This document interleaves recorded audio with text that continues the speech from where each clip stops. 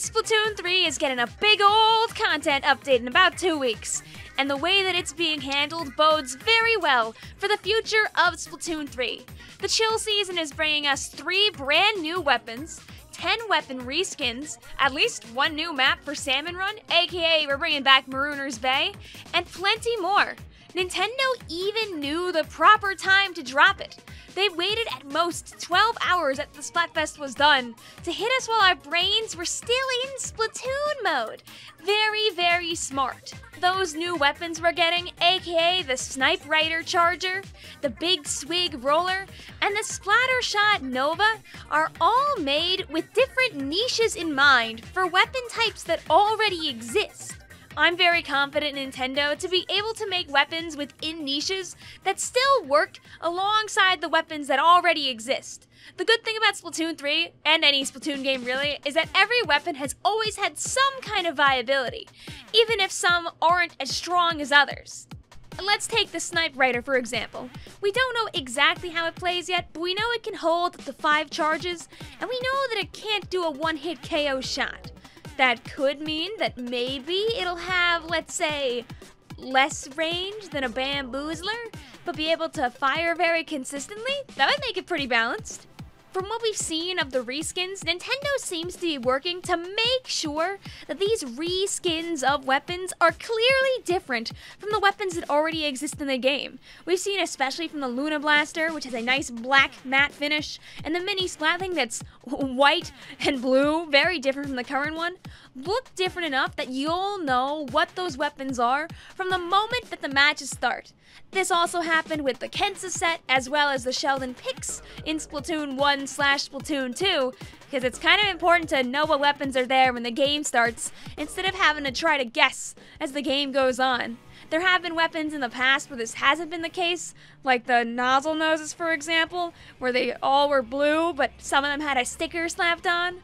I'm excluding, of course, the Kensa L3 Nozzlenose and the Cherry uh, H3 here, but you know what I mean if in the future we continue to get 10 to 15 weapons every single patch, things will be looking very good for Splatoon 3.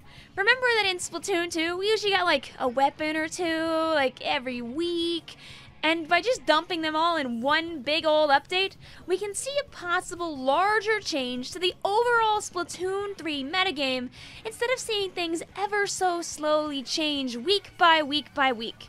And I guess we'll find out soon if people enjoy that more than having something added every single week. We're also aware of the brand new catalog that's going to come out with this update, which will, of course, cause people to return to the game to try out all the brand new weapons. Something about the trickling in update style of adding things in one week at a time is sometimes people don't feel like it's enough to be like, oh yeah, I, I want to come back this week. There are other people that, of course, love that style, where it's like, oh, I have something new I could try uh, every single week.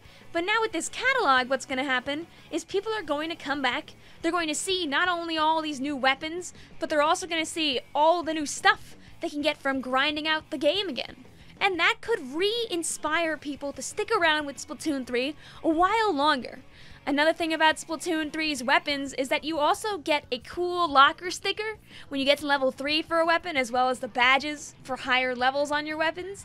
And some people, ooh, some people want to collect as many of those as possible. You know, I'm one of those people. So a big old drop of weapons just means more things for me to do in the game.